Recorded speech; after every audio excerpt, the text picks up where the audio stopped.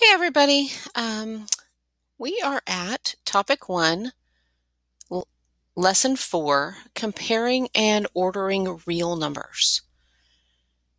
So, what we're looking at right now is how do we compare any real numbers, whether they're rational or irrational? And you'll remember from lesson two that both rational and irrational numbers are real numbers. In fact, all the numbers we're going to use in middle school are real numbers. A real number is any number that can be located on a number line. This includes integers, fractions, decimals, positives, negatives, whatever you need. Now, the irrational numbers we learned how to what I call intelligently approximate. Um, it's not perfect, but we can figure out where they fit in the order. Note, if the real number is a square root, you're going to need to simplify or approximate it in order to figure out where it fits. And then you're going to want to convert fractions and decimals as needed.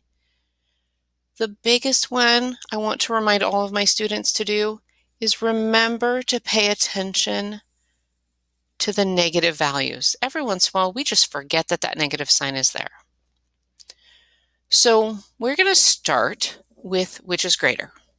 Okay, these are real numbers that we know or can approximate the value of. 20 ninths. Okay, well, I know that it's more than one. In fact, I know it's more than two. So if I do a simple division problem, I can figure out that that's 18 and that's 2, 1, 18, and that's just going to continue to be 2 repeating. So this is 2.2, and it's going to keep going. Okay. The square root of 6 isn't perfect. Well, I know that it's bigger than the square root of 4, which is 2. I know it's smaller than the square root of 9, which is 3. And it's a teeny bit closer so I'm going to say that it's about 2.4. Maybe might be 2.45, but it's right in that range. Well, 2.2 or 2.4, it's very easy for me to show now which one has greater value. That is where things like estimating really come in handy because all you're looking for is which one's larger. Now, what if I had a whole bunch of numbers and I need to figure out which these are from least to greatest?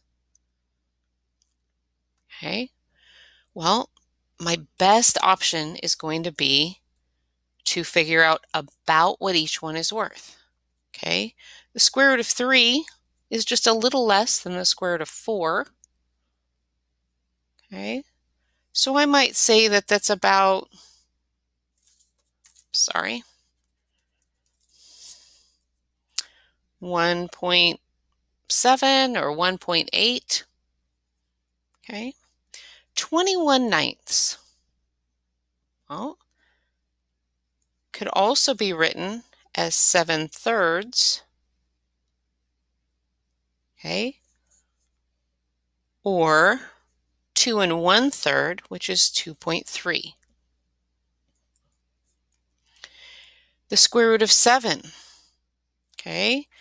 That's going to follow this up here pretty well. The square root of 7 is going to be between the square root of 9 and the square root of 4. So between 2 and 3, a little closer, so maybe we'll say 2.6. Okay, 2.6. Negative 2.9 is already in a decimal form. 5 thirds. Well, that would be 1 and 2 thirds, or 1.6 repeating. So now for each one of these, I have a decimal value that I can put in order. Now I could use a number line I'll put zero here. One, two, three. One, two, three. The really great thing about a number line is sometimes it just helps you organize them. So the first one, 1.8, would be almost here. And that's the square root of 3. 2.3, well, that's going to be here-ish. Okay, and that was 21 ninths. Square root of 7 we said was about 2.6. Okay, so that one could be the square root of 7. Negative 2.9, remember I warned you not to forget the negatives, so here's going to be negative 2.9. Okay, and then 5 thirds, 1 and 2 thirds, that's going to be 1.8. It's going to be a little bit less, so 5 thirds. Now, if I look at what is essentially really messy scratch paper, I have the order, so I can write them down. Negative 2.9, then 5 thirds, then the square root of 3,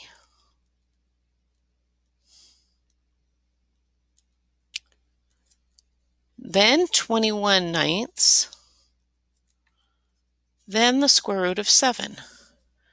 So please use this tool. That's all it is. It's a tool to help you get these things in order and not forget any of them. Um, feel free to use color if you made ones different colors. That might help you, especially when it gets crowded. Uh,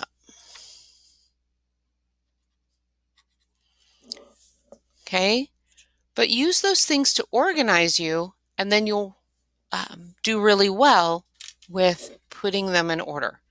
The other thing I really want to caution you is make sure when you're reading these that you pay attention to the order of the words, whether it's least to greatest or greatest to least. Um, you'll get both in math problems. Um, so always pay attention to the order. Have a great day. Thanks.